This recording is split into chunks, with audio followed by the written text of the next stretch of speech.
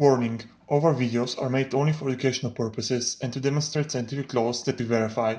These experiments must be supervised and we are not responsible for an incorrect execution of an experiment done by others. We do not encourage in any way that you misuse our experiments to do violent things and harm others. Hello everyone, welcome back to Chemistry by. Today we will see uh, a video in which we will synthesize uh, uh, copper hydroxide from some substance I will explain you now. The procedure for the current experiment uh, consists uh, in uh, three uh, in three substances. Uh, the first one is uh, copper sulfate, which you can generally find in the plant growing shops, and it is generally used as a fertilizer we need 25 grams of it and we're going to prepare a solution of 250 milliliters. Then uh, we are going uh, to add some ammonia uh, which uh, you can uh, generally find concentrated at uh, 10% but it could be also lower so you have to read the label. Ammonia is generally used for cleaning floors so you can easily find it in a supermarket. We are going to use 150 milliliters, uh, no, 75 milliliters of ammonia, uh, which is uh, of 10%. if yours is lower, then use more. Uh, and at last, we are going uh, to uh, use sodium hydroxide, um, which is generally used as a pH higher. Uh, so uh, you can uh, easily find it almost everywhere we are going to prepare a solution uh, of it uh, which is consists of 8 grams of sodium hydroxide um, and we are going uh, to add 100 milliliters of water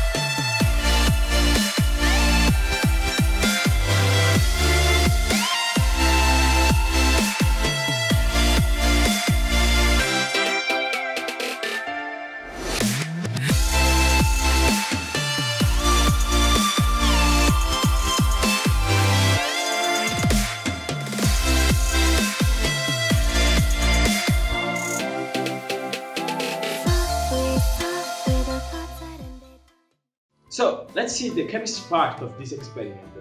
In fact, what is important in, the, in this reaction is that uh, copper hydroxide is insoluble in water. So we can take it um, as a precipitate and we can uh, get it uh, in a pure form since uh, our uh, other products uh, are soluble in water and so they don't, don't, form in a precipitate form. So in the reaction we make copper sulfate react with ammonia and this reaction uh, leads to the product of um, uh, copper hydroxide. Uh, even though we produce this um, copper hydroxide, when ammonia reacts again with copper hydroxide, another ion complex is formed and this is not good for our reaction. In fact, what we do next is to make this um, complex react with sodium hydroxide and this sodium hydroxide breaks uh, uh, these complex bonds and so we are able to get our uh, copper hydroxide as the precipitate of our reaction.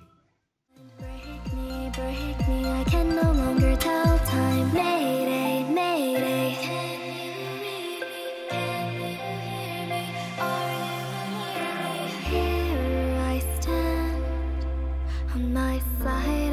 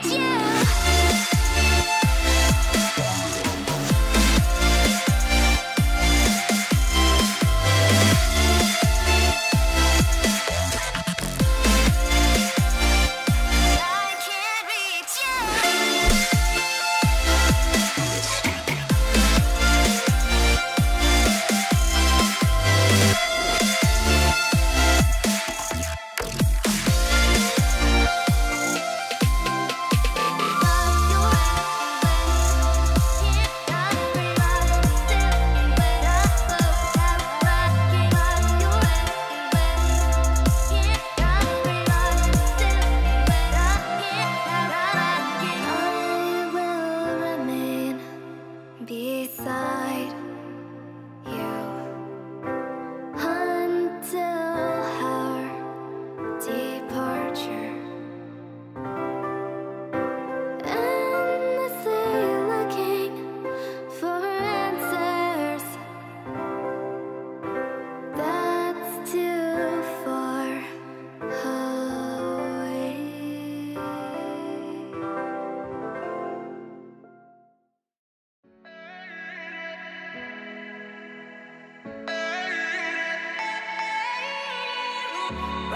sister, can you hear that? Our heartbeat cutting through the ether. Star drifters, can you feel that? One love can make us all believers. A generation of renegades, we don't have to stay alone. So, brother, sister, can you see our light